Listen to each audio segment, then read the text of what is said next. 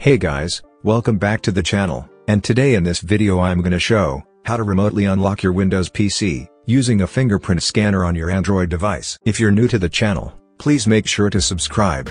And now, let's begin. To remotely unlock your Windows PC, using a fingerprint scanner on your Android device, you'll need to install Windows Fingerprint Unlock module on your PC, download Windows Fingerprint Unlock module, from the link given in the description.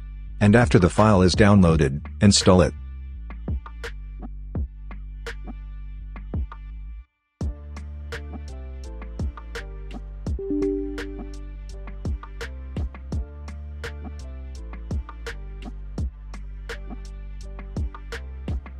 After installing the fingerprint module, make sure that your PC and phone are connected to the same network.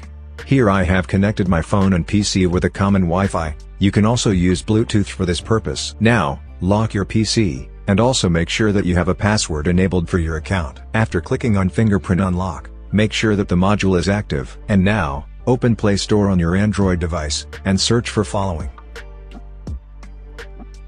Now, make sure to install the exact app, as shown.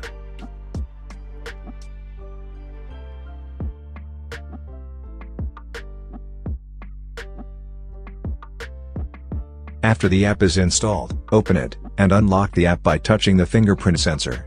After the app is unlocked, from the welcome message, tap on Scan and Now, swipe down to scan, if you are connected via Wi-Fi on both devices, or tap on plus button and then scan by Bluetooth or directly using your PC's IP. After your PC name appears, tap on it, and then tap on the Save option, to add it as a new computer.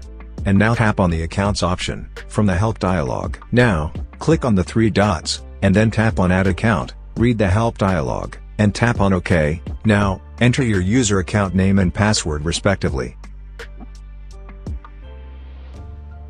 After entering the credentials, tap on Save, and now you can unlock your PC remotely, using your Android device. And as you can see, it works perfectly.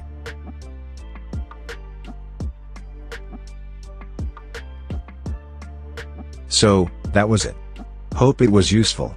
Consider like for the video, subscribe to the channel, and if you have any questions, just comment down below. Thanks for watching, and have a great day ahead.